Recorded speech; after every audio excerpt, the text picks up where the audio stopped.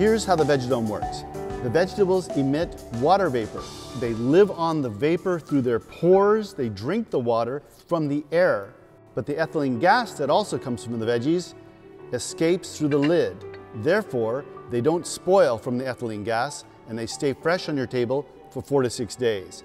And that enables you to be able to eat them and not hide them in the fridge. That's the best part. You end up eating up all these vegetables.